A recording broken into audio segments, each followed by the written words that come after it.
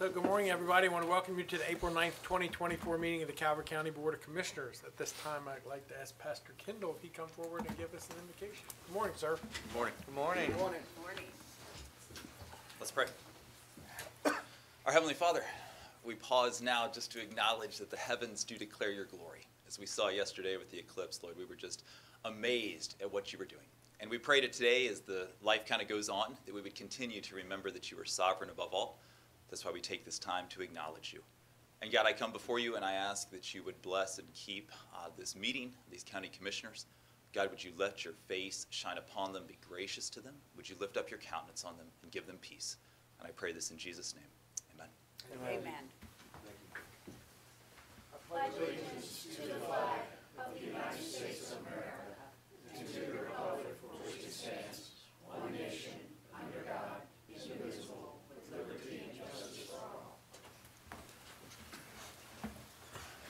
Thank you, Pastor Kendall. And Pastor Kendall comes to us from the Community Baptist Church in Dunkirk. Thank you very much for coming down and joining us today. Thank you. Thank you. Next item on the agenda is to approve the agenda as presented. Are there any additions or corrections? I have none. I have none. Make a motion, we approve. Second. I have a motion and a second that we approve the agenda as presented. Any discussion on that motion? Mr. President, we are asking to add executive session pursuant to 3-305B8 to discuss litigation. There is an amendment to the agenda. Just make the amendment to the motion. Second. So I have a motion and a second that we add executive, exec session to the agenda. Any discussion on that motion? Hearing none, all those in favor say aye. Aye. Opposed, motion carries. Thank you. Uh, a couple public service announcements. Uh, unfortunately, we have to pass along our condolences to the Joseph Cheesy Kirby family. Um, Cheesy, as we all knew him by, uh, passed away on April the second. Uh, he worked for mosquito control since nineteen ninety-one. Uh, our thoughts and prayers go out to his family and friends. He was my Little League coach. Is that right? Really? Yep, He was. And we've been getting a lot of phone calls about some, a tree clearing operation going on right on Route Four in Lusby. Just want to let everybody know that, uh, that's private property, that is not county property, that, uh, that operation is permitted and completely approved by, uh, all those entities, the Department of Natural Resources and Soil Conservation Service. So, uh, just want to let everybody know that's a private operation and not county.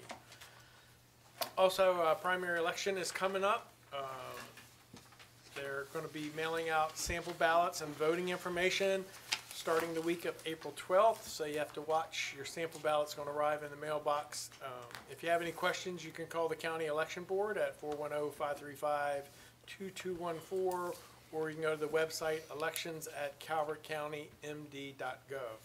Uh, The primary election is on May 14th. You see a few few signs popping up.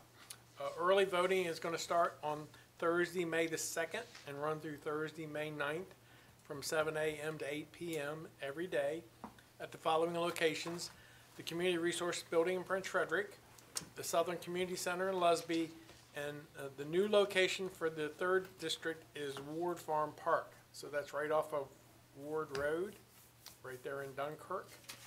Uh, That is a new location, so everybody in the north end of the county, you need to make sure you're aware of the new location.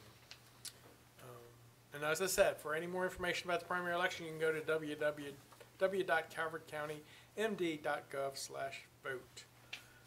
Uh, Also, just want to let everybody know that, as, as you, as you may already know, the legislative session wrapped up last night at midnight. Uh, We did have two pieces of county legislation that did pass. We also had uh, one piece of legislation regarding ethics that had been submitted by a citizen. That piece of legislation also passed. So this year, we did very well with our legislative effort. I Want to take this opportunity to thank all those that were involved. Um, uh, We had a bill for local preferences for businesses, that this was our third session trying to get that bill passed. Uh, We couldn't have got that done without the support of the minority business community, the Chamber of Commerce, and all those others that testified and uh, participated in the process. So I want to thank those individuals. And uh, also I want to mention, some of you uh, watch our meetings, you notice that uh, once in a while we recognize employees for doing outstanding work. So I'm going to take some executive privilege Uh, the Thursday before Easter, we had a little legislative hiccup that got us, some of us, very excited. And uh, just want to take this opportunity to thank uh, Deputy County Administrator Linda Turner, Director Julie Oberg, and County Attorney John Norris for all their extensive efforts in that legislative issue. Uh, We did prevail in that finally, and uh, just want to thank them for their efforts. Thank you all. Thank you. Thank you.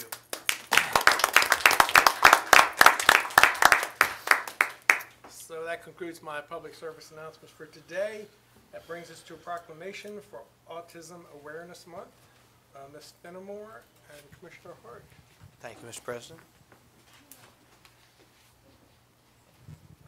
Good morning. Good morning. Good Morning. Good morning, Commissioners. Good morning. I forgot my readers, so forgive me. It's Ours gonna be held like Yeah, I this. have a pair. We all have. Um, my name's Christine Fenimore. I am a Calvert County employee. Um, I'm also a mom to a adult who was diagnosed with autism at the age of five. Thank you um, for recognizing Autism Awareness Month with this proclamation this morning. 2024 will mark the 12th year of recognition here in Calvert County.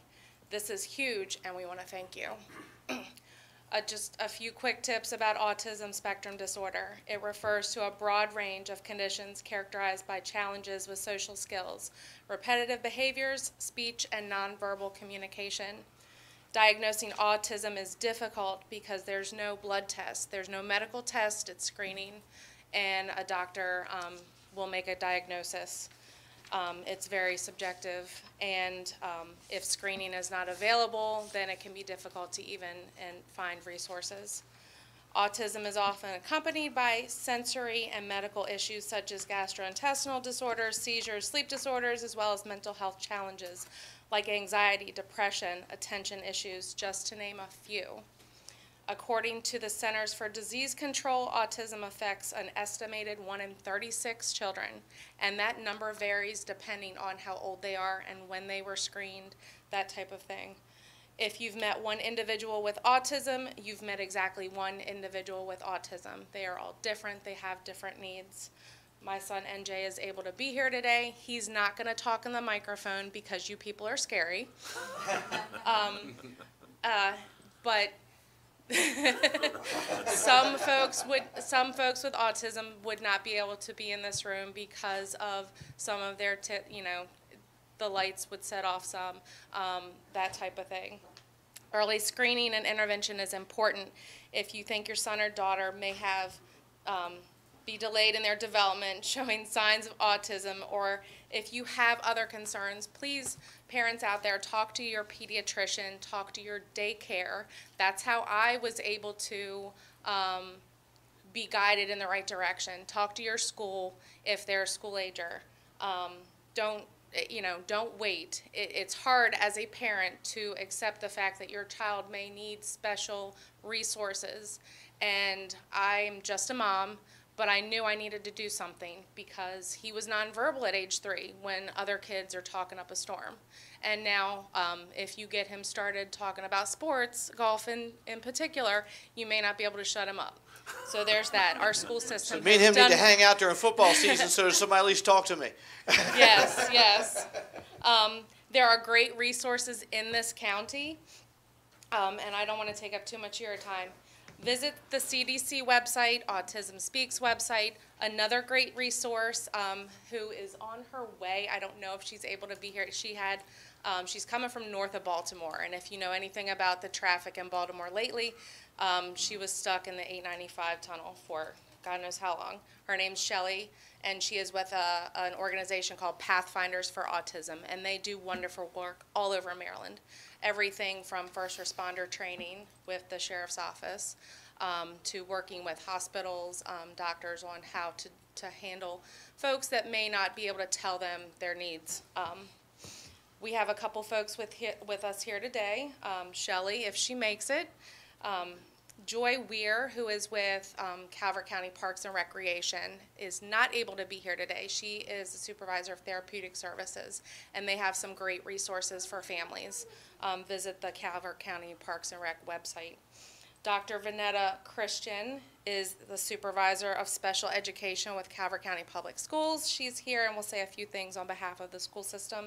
Joseph Cormier is with the Special Education Citizens Advisory Committee. And Mark Willis, who really needs no introduction, if he chooses to say a few words. So again, thank you for your support and your time. Thank you. Thank you. Introduce yourself. In- in the- I tried. Come on.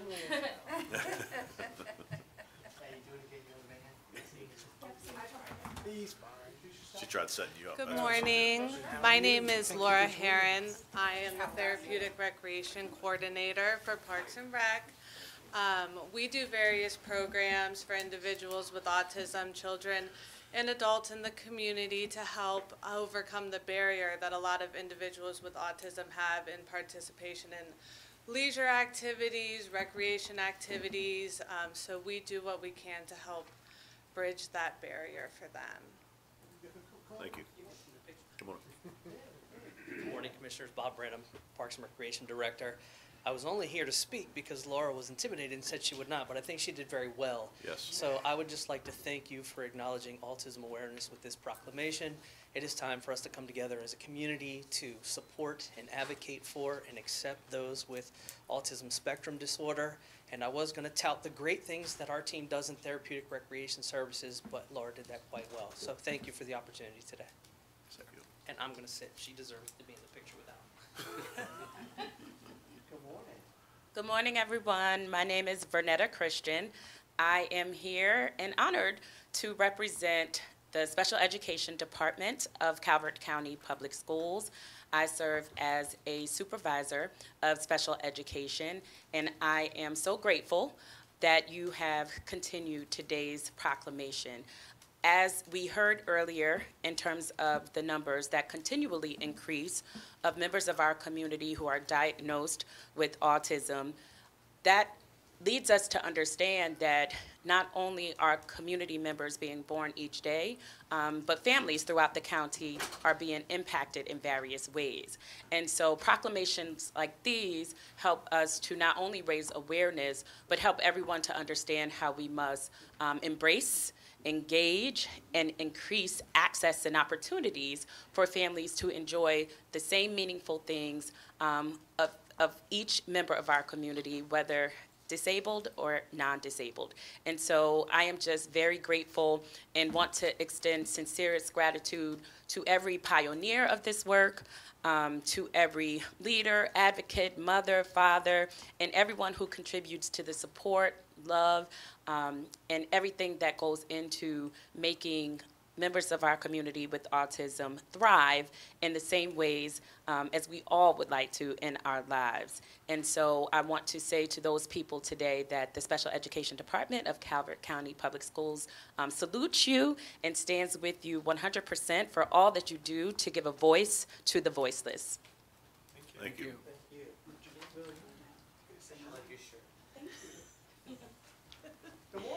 Hi, good morning.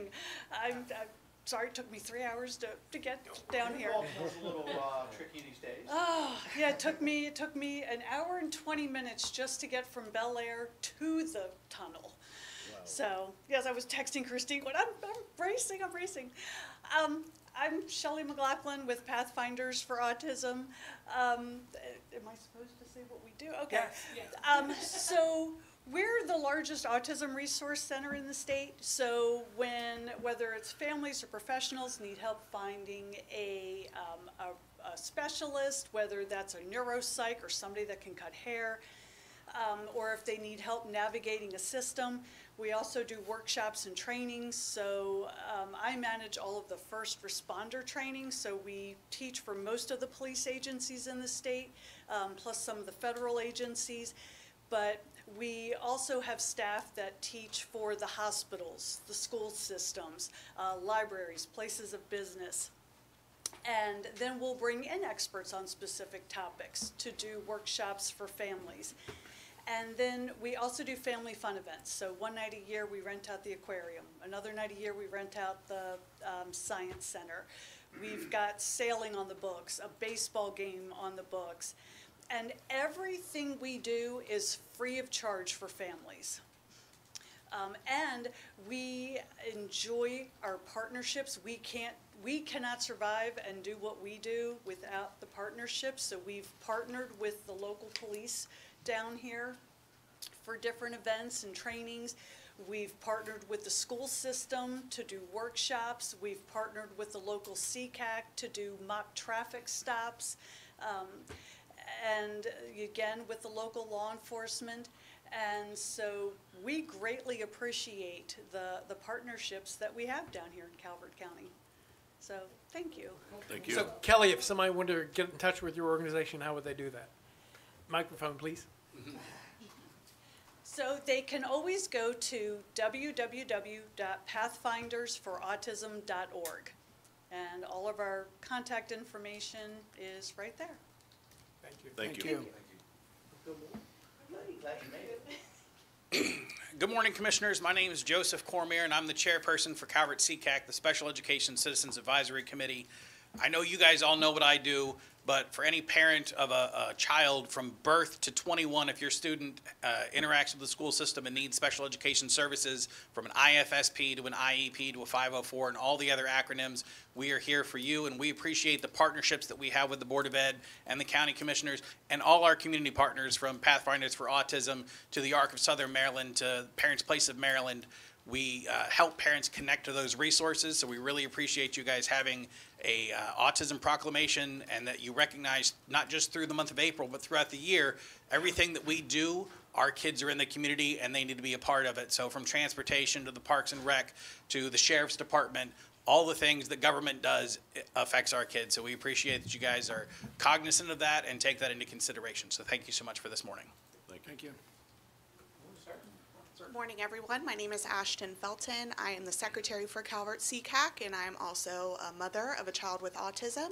And I just want to take the time to thank you for recognizing this proclamation this month and for your support of um, programs and initiatives for not just um, children and adults with autism, but all disabilities. Thank you. Thank you.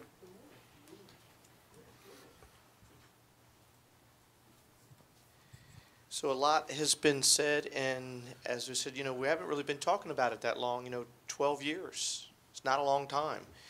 And Christine, I think, said the best thing, you know, if you met one person with autism, you've met one person. And I think that's so key to understand because so many times we go, oh, well, I know about this. No, it's, it is very individualized. And we all have friends and family.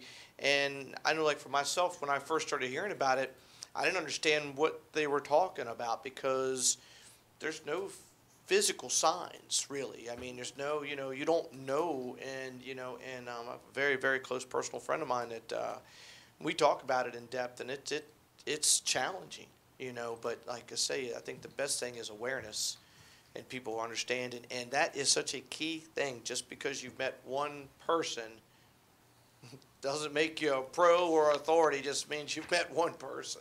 So I want to thank everybody for being here and, and for everything that you're doing. And I have a proclamation here for you today. And it says, whereas autism spectrum disorder, ASD or autism, is the fastest growing serious developmental disability that results from a neurological disorder hindering a person's ability to communicate, respond to surroundings, effectively problem solve, form relationships with others. Autism is referred to as spectrum disorder because it characterized in varying degrees by difficulties in social interaction, verbal, nonverbal communication, medical conditions, as well as restricted and repetitive behaviors. Autism can be associated with the intellectual disability, difficulties, motor coordination, attention with issues, mental and medical health. Whereas autism affects about 1 in 36 in individuals of race, creed, socioeconomic status not only affects the person with the disorder, but also affects their families, friends, schools, and local communities.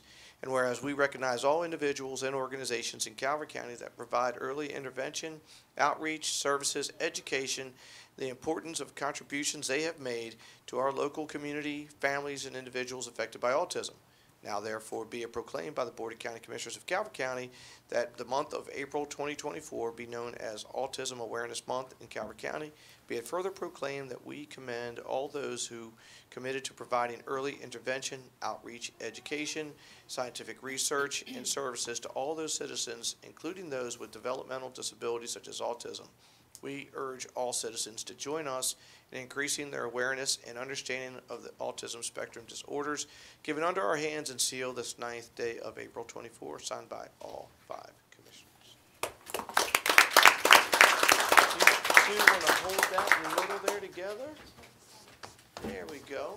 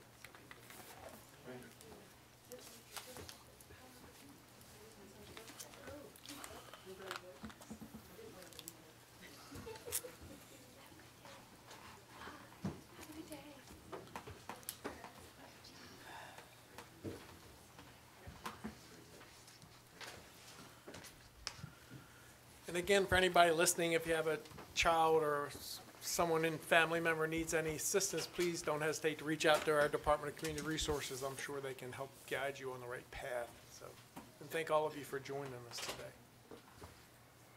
Next item on the agenda is an appointment. Deputy County Administrator Turner. Good morning, Commissioners. Linda Turner, Deputy County Administrator. Uh, Today, we have a reappointment and an appointment for the Calvert County Commission on for Women. Staff recommends you reappoint Catherine Marsh and appoint Brandy Curtis Richards. Following these two appointments, there will be eight vacancies following. Thank you. Thank you. Mr. President, I move that we reappoint Catherine Marsh and appoint Brandy Curtis Richards to Second. the Commission for Women. I have a motion and a second. Any discussion on that motion?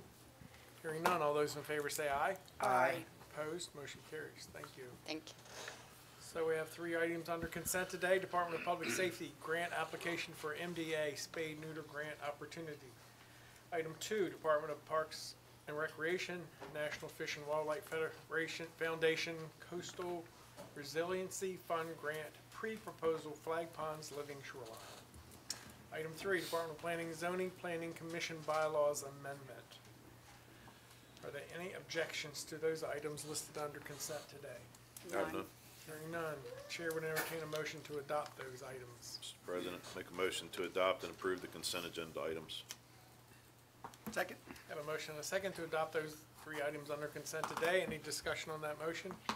Hearing none, all those uh, in favor say aye. Aye. Opposed, motion carries. Just so you know, uh, when I was secretary, we started the spade and neuter grant program at MDA. That brings us to new business. We have one item under new business today, Office of the County Administrator, financial sustainability concerns. Review of Sheriff's Office headquarters. Good morning, gentlemen. Good morning, Commissioners. Tom, you're in charge of the clicker. Oh, thank you.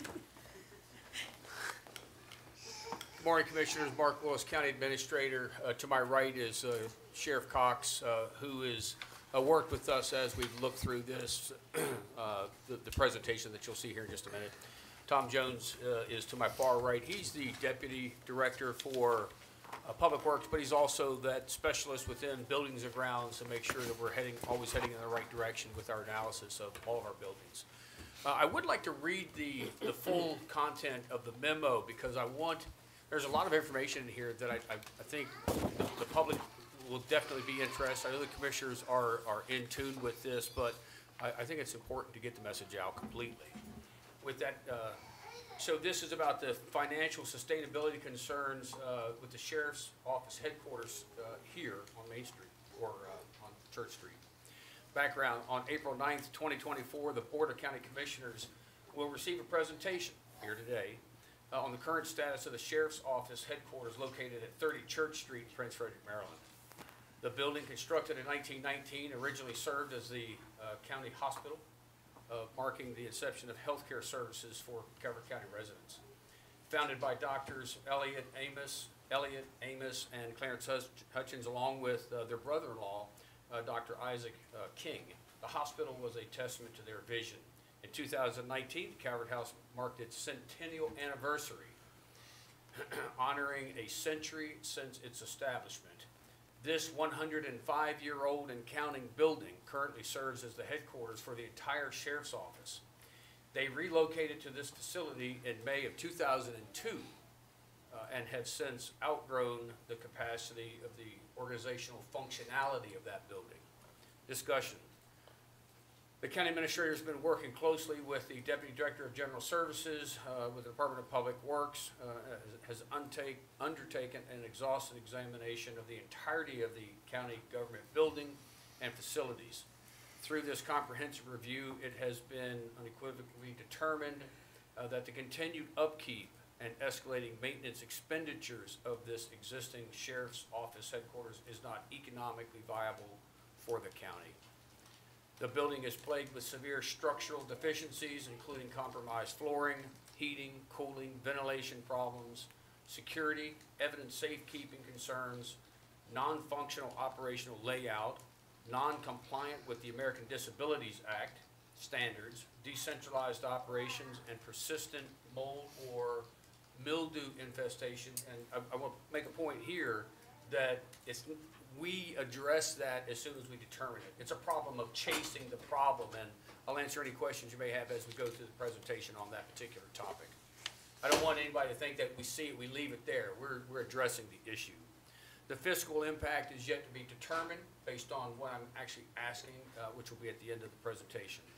Conclusion recommendation, by taking a collaborative, uh, consultative, and financially sound approach, staff is asking, actively seeking input direction from the Board of County Commissioners regarding the current condition and future plans for the feasibility, the facility in question, demonstrating a commitment to long-term planning and prudent allocation of resources within the county budget.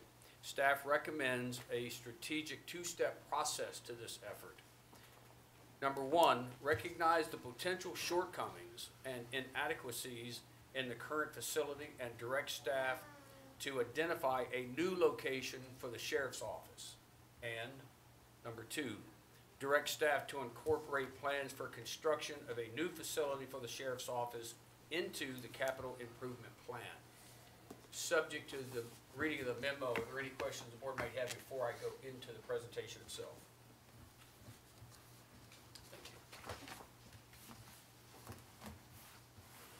As you can see on the scr- on the screen, it, it is a, uh, it's a nice looking building from the outside, and that might be kind of a, a little bit of a, you know, disguise because it's hundred and five years old, going on hundred and six. And when you walk into that building, you kind of, you notice that right away. A little bit of history. The building known as the Calvert House, uh, built, constructed in nineteen nineteen. Uh, it was originally the hospital. Uh, the Calvert County Sheriff's Office, uh, like we said, has been using that building since two thousand and two. When we say, uh, organizational functionality, what we mean there is the sheriff's office doesn't just patrol the streets for, for traffic violations. The sheriff's office has multiple sub-agencies within it that all have very specific responsibilities that do not coordinate by design. They coordinate on their own. They're self-stabilized within the building. They have their own job missions. It's not like you get to walk down the, the, the hallways of this building and it's all laid out nice and, and properly. The functionality of this building is really torn up and, and everybody's kind of discombobulated throughout. And not just throughout the building, but actually throughout the county. So they have in, as you can see here, uh, multiple different uh, uh, agencies within, everything from, uh, you know, the administration, judicial services, communications, patrol, evidence proc, and evidence processing is an important one. And I don't have slides that lead to that, but I'll definitely talk to that. Uh, Crime scene unit, uh, not to mention storage, but crime scene unit and uh, investigative records. Uh, Due to the space con- constraints, they have uh, satellited uh, multiple locations outside of that area, and they have them throughout the county. And that's the only way that they could house the entire sheriff's office, even within the counties, to have them separately located. Uh, One thing I will say is that with the the newly addition satellite locations that the sheriff has brought to the county, one in the southern end and one in the northern end, that is not to uh, diminish the space requirements that are necessary in this building. That's to give a, a police presence throughout the county, 24 hours a day. Has nothing to do with space. It has everything to do with being on the job. Evaluation. The Department of Public Works issued a, a, a request for uh, a company to come in. That company was uh, MW Studios, which specializes in public safety architecture. They can go in and look at it, see how it's laid out, and tell us if it's good, bad, indifferent. Uh, and, and I think the, uh, the report is pretty, uh, pretty full of a lot of good information. The overall building systems, they, they reviewed eleven different functionality, uh, function, functions within the requirements of what the sheriff's office has to deal with on a, on a particular day. And I see I have a lot of support in the back room here, definitely for doing this, I think. Um, Out of the We'll eleven see if rated. it's support or opposition. I'm gonna go with support until the commissioners tell me otherwise. Uh, And, and there will be time for public comment later. Out of the eleven areas that were, that were rated, uh, eight were rated as poor and three were rated as fair. We'll go through these in the next couple slides. So, uh, a, a poor rating signifies the building condition suffers from significant deficiencies in design, construction, or maintenance. Exhibits notable, noticeable flaws in functionality, only complies to outdated codes and standards. Uh, Occupants experience discomfort, satisfaction due to daily use. And you can see to the right, I won't read them, but to the right, I mean, there's uh, eight of those 11 are listed right there, and it's pretty much everything that you would think that you would want to maintain on a regular basis, but it, we struggle to do so. The next area where we had fair ratings, uh, again, it's generally sound but may have noticeable shortcomings. And I think we're being kind uh, when we say this. Uh, I I personally walked through the building with the sheriff's office personnel. I looked in all the cubby holes, I walked down the hallways, and I I can agree that these are all major areas that need uh, near-term consideration. Uh, Existing conditions, this is just a single area, so the entire lower area, which we refer to as the basement, suffers from moisture and ventilation problems due to substandard waterproofing, exterior wall assemblies, and antiquated, uh, underperforming mechanical systems. It's hard to provide updated and modern mechanical systems in a building that's uh, approaching its 106th birthday. So what you see, go back please, Tom when you see that uh, moisture that's in there, that's after it's been cleaned up. I mean, they, they had to put their, their storage racks in this building on rollers, just so one, they could elevate it, but two, so they could roll it out of the, out of the areas where water has actually entered the building and is just flowing across the bottom floor. So although they will mitigate something like that, they just have to go down ten feet later on and find a new mitigation responsibility, and that's really throughout the building. This is important to me. I know it's important to the sheriff. This is where, this particular hallway, this set of, this ladder well here, uh, for civilians and non-military and sheriff's office people is a stairway. But this ladder well, if you come in this door, they are bringing in, uh, individuals that they have needed to detain, innocent until proven guilty, but they have to bring these individuals in through this door and move up and down these steps to get them to a place where they can actually uh, have them in safe conduct until further notice.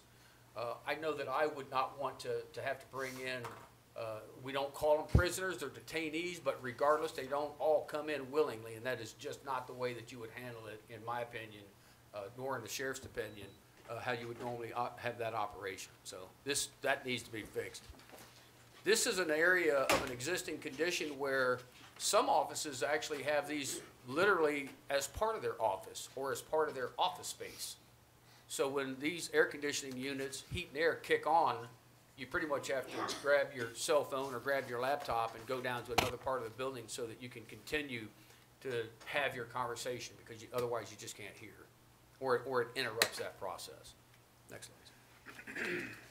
So staff, we, when I say we concur with the architect's recommendation, certainly there's enough information in there that we see that, you know, it's, for those of us in the room old enough to remember the old Midas commercial, you can pay me now or you can pay me later, but you're gonna pay me. And, and that's what this is speaking to. It's not if we need to do this, it's how soon we place a level of urgency on it to do it now versus later. So there are recommendations in there, and we are seeking your approval today to direct staff to identify a potential new location and to incorporate plans uh, for construction of a new facility uh, into the capital improvement plan. I'm not asking today that we design it. I'm asking today that I be authorized to consider a placement appropriately within the capital improvement plan so that we can get this project moving forward. Uh, it was about almost five years ago that I met with the, at that time, Sheriff Evans, who wanted it immediately put on your agenda for construction, and I talked them into a five-year wait. I'm at the end of that four-year, uh, of the five-year, and I, I'm, I'm really seeking to, uh, just get your guidance on how I may move forward with fixing this problem. With that, Sheriff, you have Commissioner. anything to add?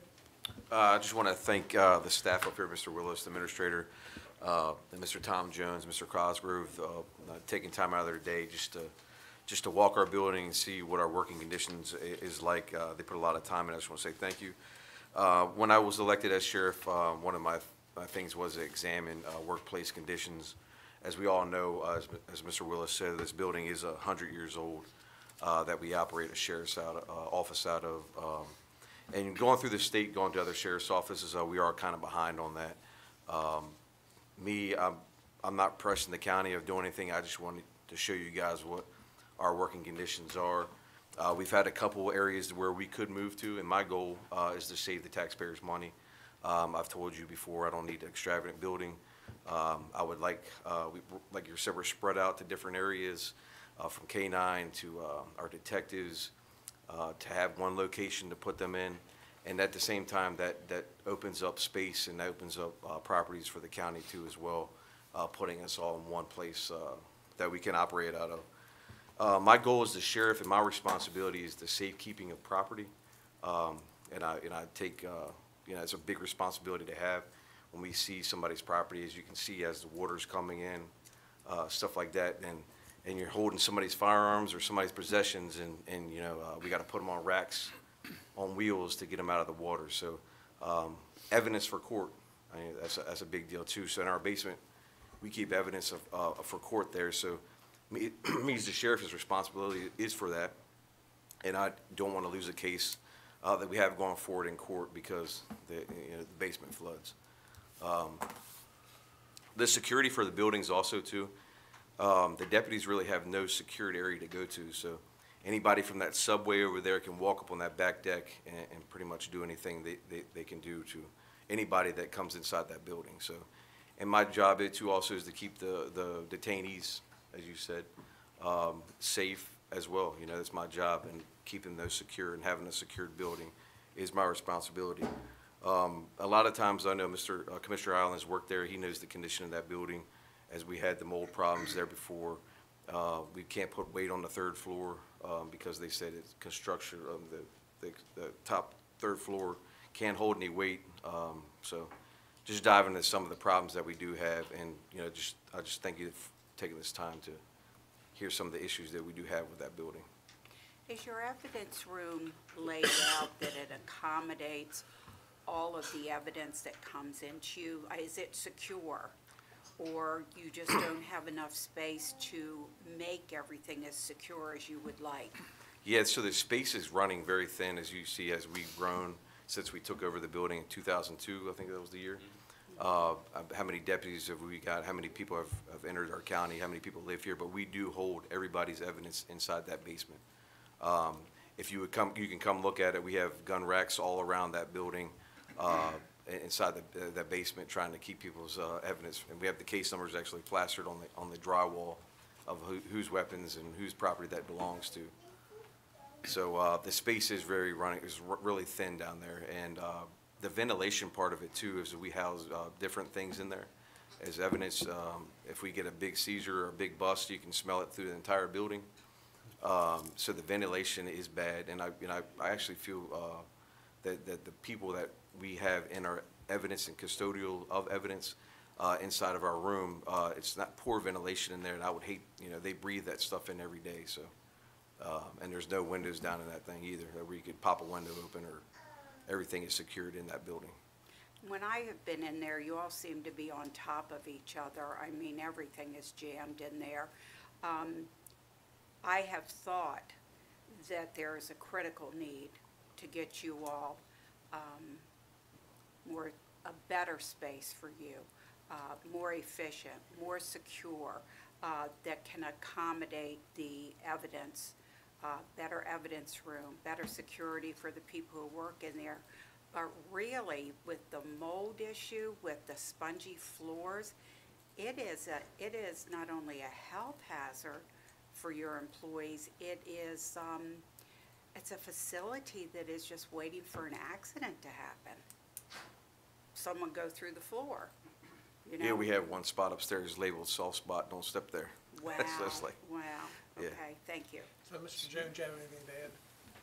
Um, no, sir, I mean, it's a twenty, twenty-one thousand square foot building, we're averaging about hundred eighty-four service tickets a year in that building.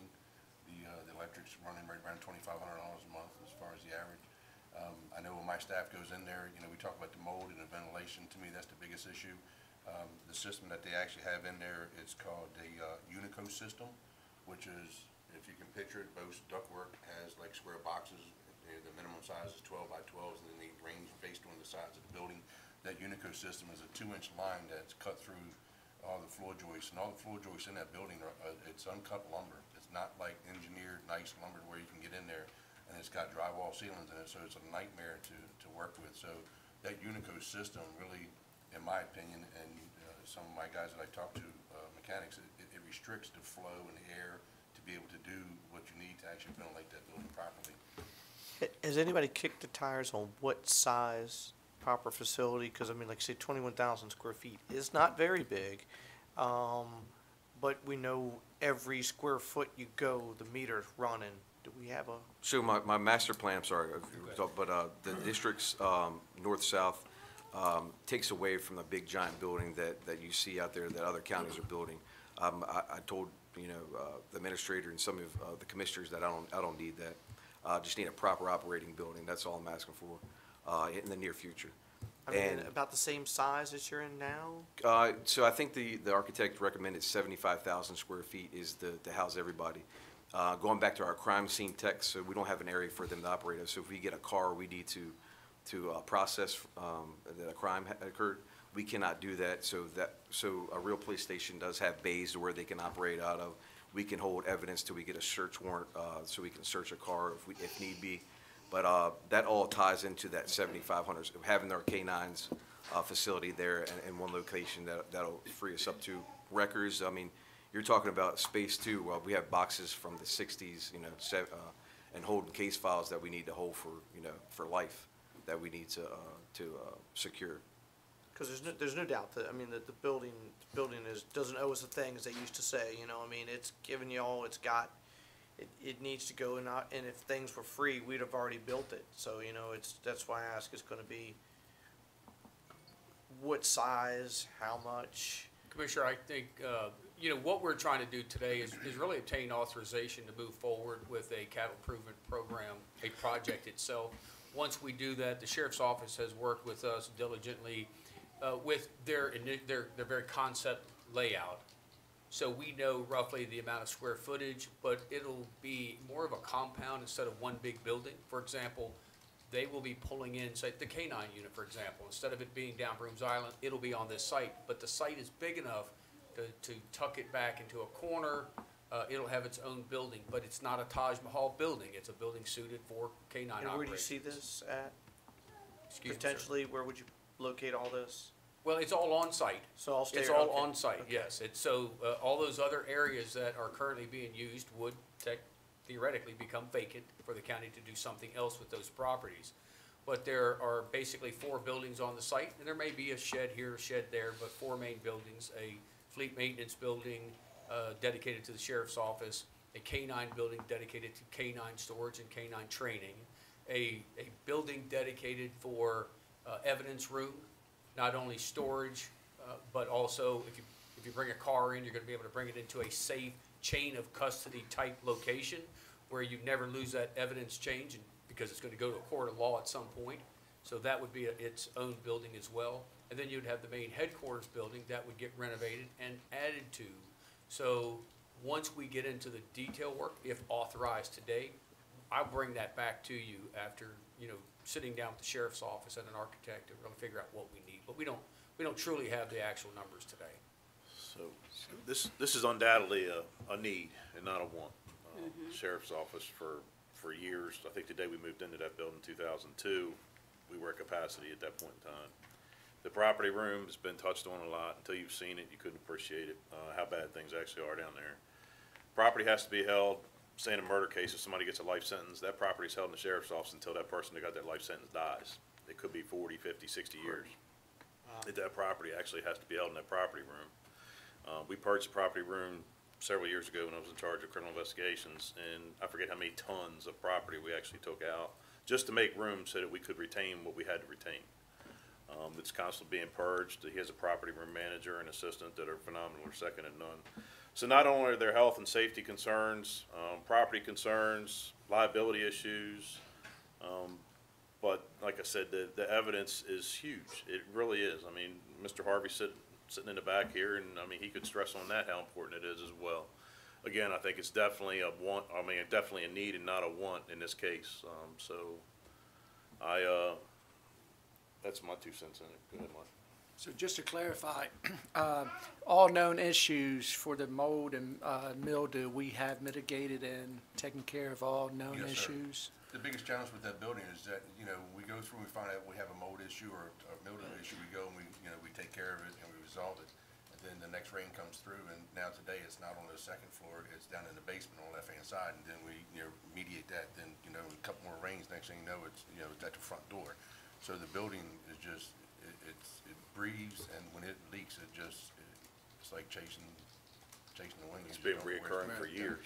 And the new, yes. and, and the new facility, we will bring our detectives from Stafford Road and all services to one point. Uh, yes, Commissioner, that is the goal. Uh, and me as the sheriff, I would like to have everybody at one site if, and that's the, the goal of this plan is to pull everybody to that site.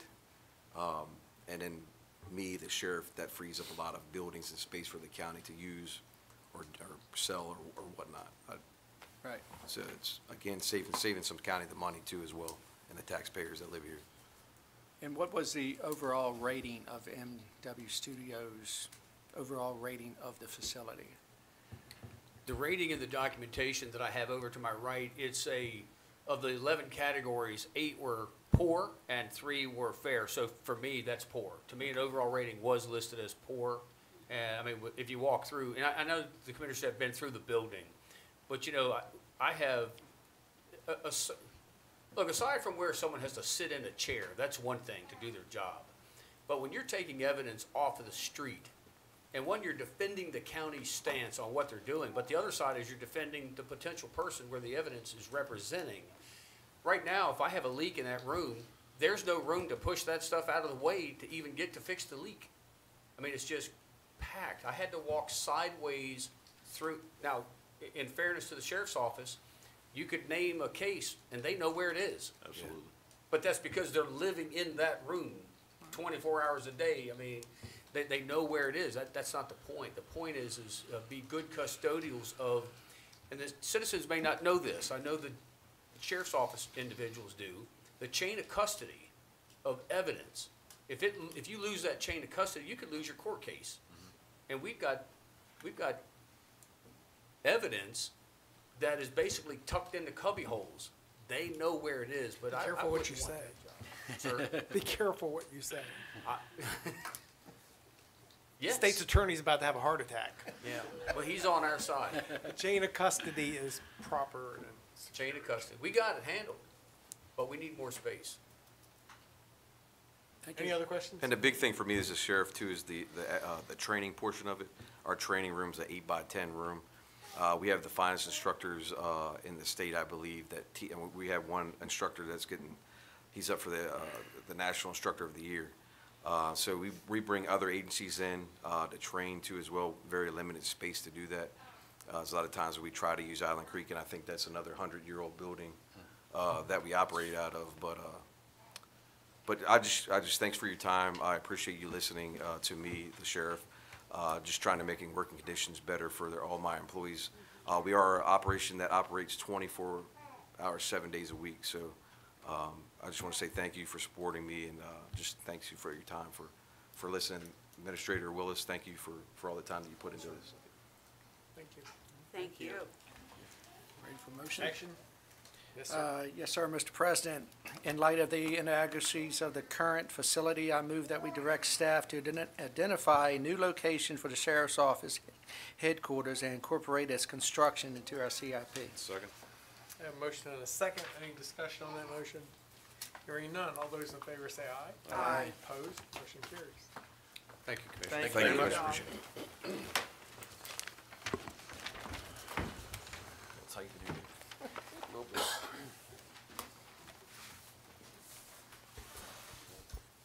With that, it brings us to public comment. Mr. County Attorney. Thank you. Is there anyone in the room for public comment? So the Board of County Commissioners adopted a resolution in 1989 intending to maintain the order and decorum of the governmental process. A copy is found here to my right. Persons are welcome to address the Board of County Commissioners on any matter germane to the business of the county government. Those addressing the board shall be, shall not be uncivil, rude, vulgar, profane, or otherwise disruptive to the conduct of the board's business. All speakers are asked to identify themselves and whether speaking as an individual, where you'll be allocated two minutes, or as the appointed spokesperson of a group, where you'll be allocated five.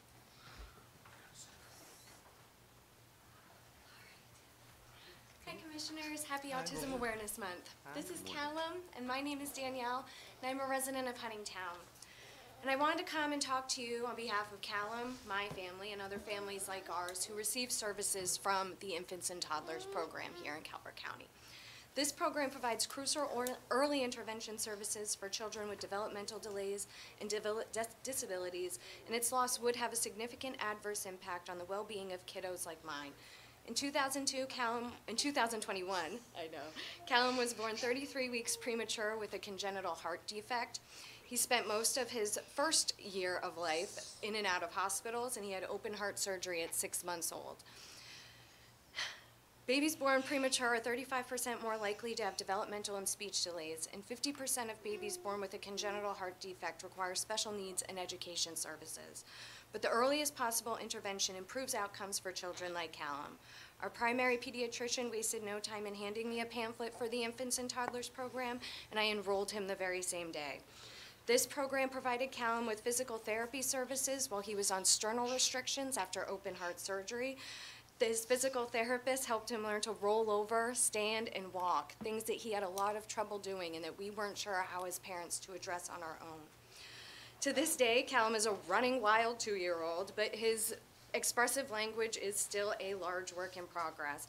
And Callum's speech educator at Infants and Toddlers has taught him ways to communicate with us that we never thought possible. He's signing to all of you right now. the Infants and Toddlers program puts on weekly play groups, story times, parent and me groups, and so much holiday fun all year round. They provide testing, evaluation, translating services, and support that extends to the entire family. Many families of special needs children in Calvert County love the support that it provides. And it is important that we remember that when we're talking about our county's educators, we remember all of them. Thank you so much for your time. Thank Thank you. you.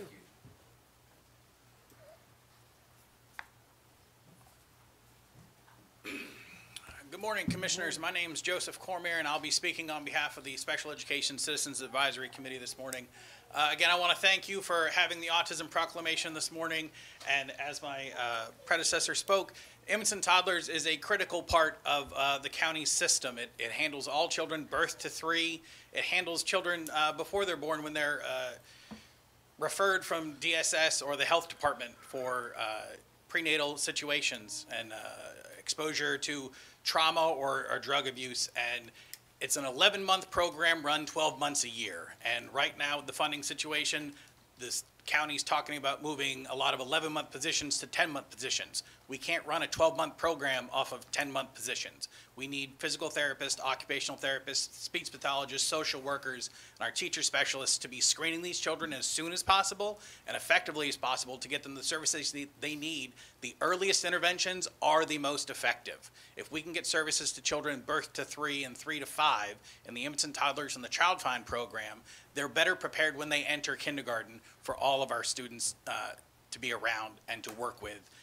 And it's it's a huge web of uh, county services between the health department, DSS, uh, the Judy centers, the HIPPY, the home instruction for parents of preschool years, the Calvert Library, the Parks and Rec department. We need all of these things working together to support these children at the earliest stages to get the most impact in. So I hope that we will continue to look for effective ways to budget at the county level and at the school system level to identify overlaps and make sure that we're connecting those to use our money the most effectively. We, we need more staff, not less, is the short answer. And I know you, we always say that the, the cost of school keeps getting more and more expensive. 50 years ago, our kids were told, you're uneducatable, keep them at home. There's nothing we can do for you. Now we're bringing these kids in to get them services. We have homeschool kids who used to get drive-through services for speech and OT and PT. We don't have enough providers to fully service what we have that we're obligated to do. So these homeschool kids who aren't part of the school system are no longer receiving services. And there aren't enough private providers in Southern Maryland that parents are driving to Baltimore or PG or DC to get these services. And that's money we're, we're sending out of county. So I hope that you will work with the school system, the College of Southern Maryland, to work on the pipeline so that we get students here in the county to want to be in special education in whatever realm, and then come back and work here in the county and serve in the county. It's so important. Uh, I do want to touch on the SECAC Awards that we're going to have April 17th. We had 125 nominations for over 200 staff. We've got two SROs nominated this year. We've got two Health Department uh, employees nominated this year. Uh, We've got a, a huge announcement for our work-based learning program this year, so I hope that uh, you'll come and uh, send out your representatives, and it's going to be shared on the Calvert County YouTube channel. Again, uh, we always look for your partnership. We appreciate your, just everything that you do here uh, for the county, for our students, for our community. Thank you so much. Thanks, Thank Jeff. you.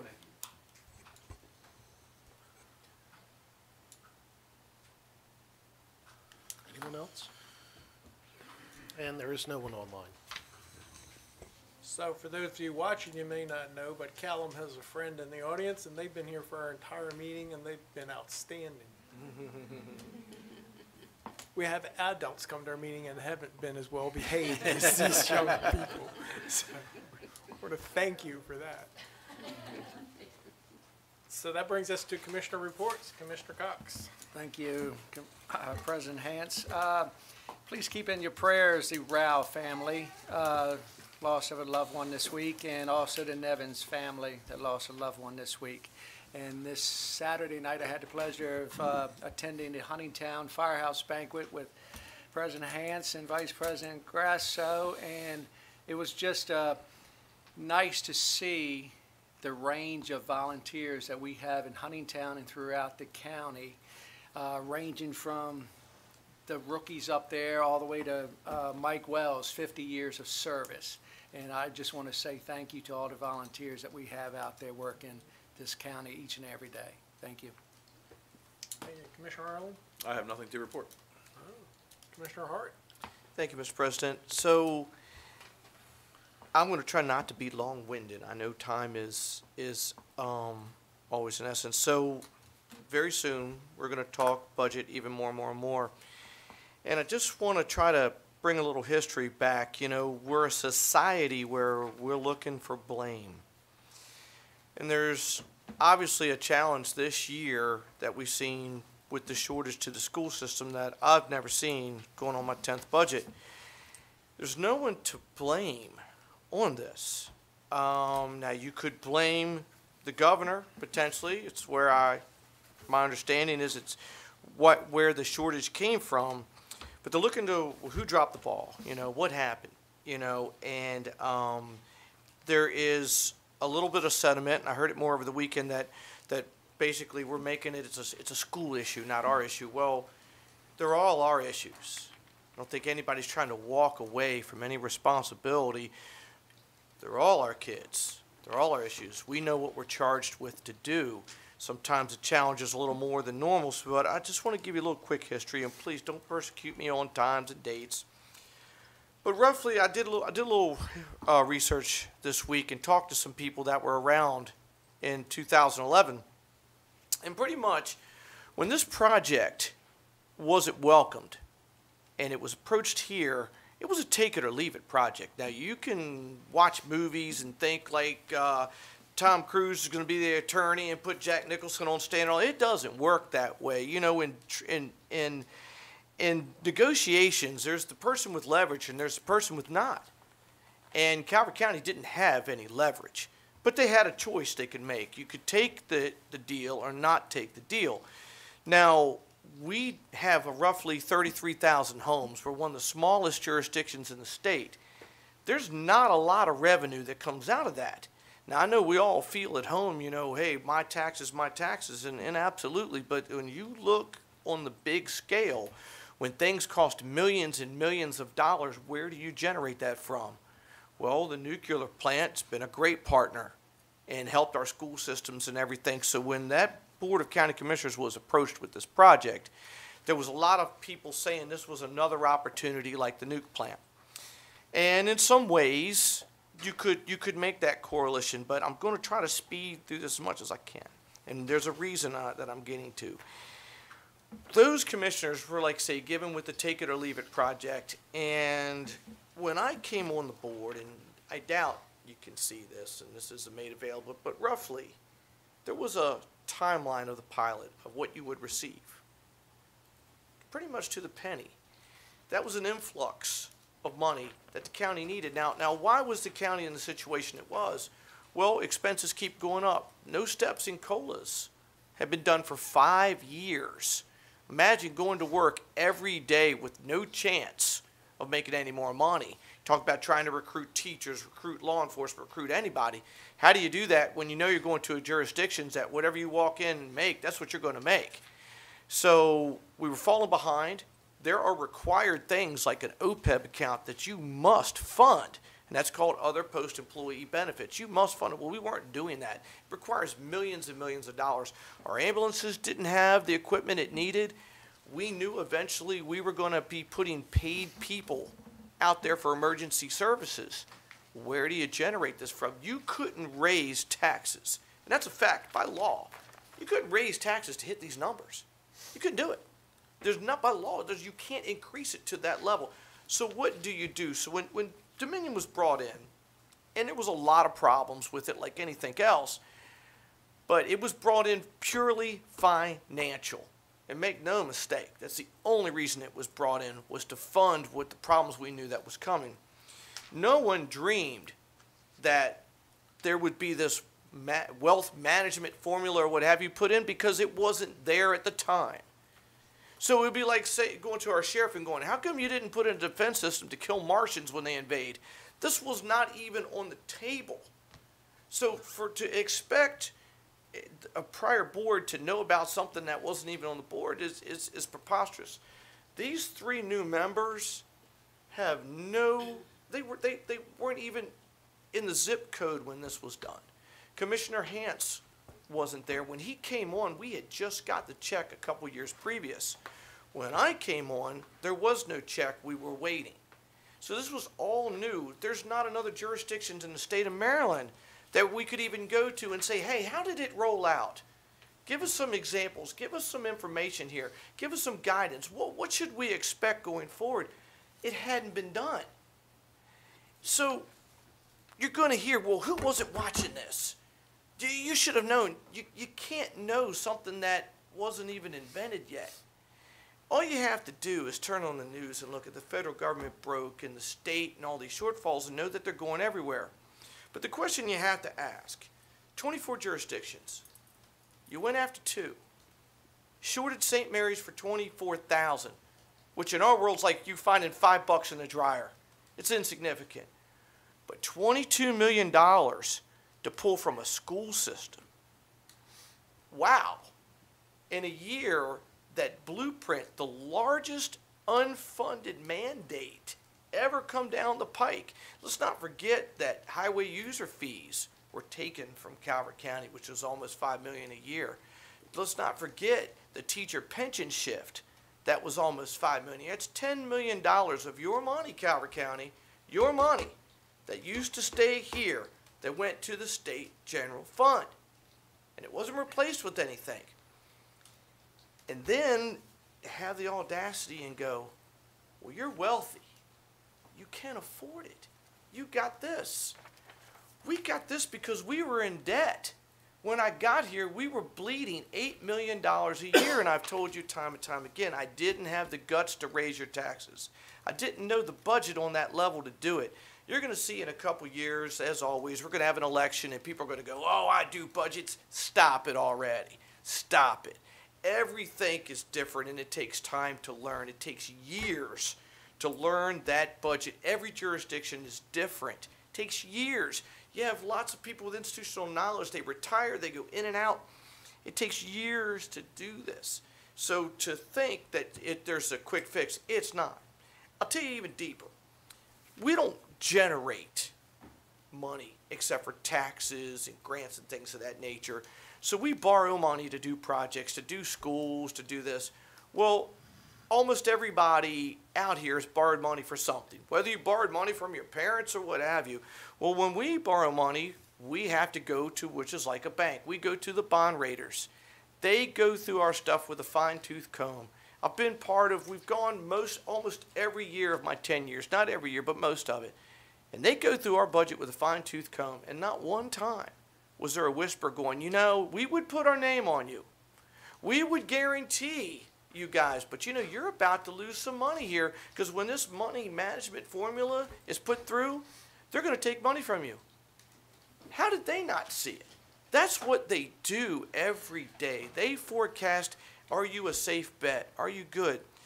And why I bring all this up is because we're going to hear you're walking away and not. We understand this problem that's coming. We do. It's probably not going to get addressed to the way everybody likes it. But I've seen COVID, I've seen all these things. It's a problem that will get solved. It will. And, you know, Calvert County will, will continue to move on. And, and, and I have been very outspoken against raising taxes. If I raised taxes, every budget hearing that it came, I would have raised it 10 times because that's the go to. It's, hey, let's just raise taxes. Sometimes you just can't. Now, maybe that will happen. I don't know. Will it happen on this board? I, I don't know. I can't answer that. But you don't raise taxes till you've exercised every single thing you can. You do all the work, you do everything you can. This board has lived within its means. Something I'm going to give Commissioner Hance when he came on and we talked CIP today. He looked at that and he said, you know, we got to come up with a bar. We don't exceed this. And that was a big thing of his on my last board. And it really put it into focus. You know, my first board, we did the um, funding formula for education. And these guidelines are very good. The reason that the funding formula stopped existing because we didn't know what to prepare for Blueprint. We're still getting information on Blueprint. So all we have is ourselves. That's it. So the, I just trying to dispel some of the anger and frustration. I get it. We're frustrated too. We want our kids to have the best. We want them to have every service that they need to be successful in life. But there's going to be some growing pains on this one. I don't want to lie to anybody, and, and I'm just asking for a little bit of patience. Um, I think we've proven the will to do it, you know. Um, we have identified salaries and positions. People forget, I believe close to 50 teachers were let go, I think, my second year. Nobody has an appetite to do things like that, you know. Um, so I know this was long, and I'm sorry, but um, we forget how fast. You know, I've heard people say, "Why did Dominion even come here?" you would be moving if it didn't. And look, it's in my neighborhood. I can tell you, most of my neighbors hate it. Okay, there's always light there. It's noisy at times. There's smell at times. Most of the county don't even know it's there because it's back on a single lane road. There's a lot of not in my backyard. So there's a lot of people benefit from that facility and don't have to deal with any of it at all. But if you live right down next to it, sometimes it's a problem. So, like I say, once again, I'm, I apologize for, for so long, but I just thought you needed to hear some of that. So, thank you. Thank you, Commissioner Hart. Commissioner Grasso? Thank you, Commissioner Hart. On the 5th of April, I attended the Twin Beach Players' 25th anniversary and was pleasantly surprised. They were having a play that night, the Big 5-0, so I stayed for that.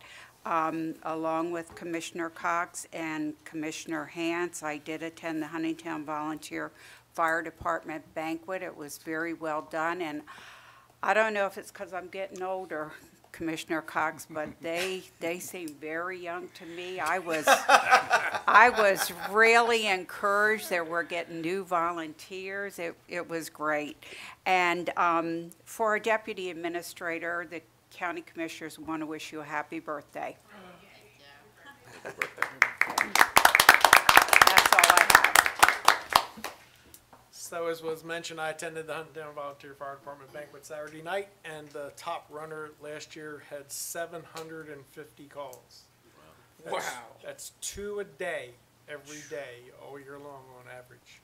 And just, I always remind people that when you pick up that phone and dial nine-one-one, if a fire truck shows up, that's a volunteer. That's somebody that gave up their time to be trained, to show up at your door when you were in need.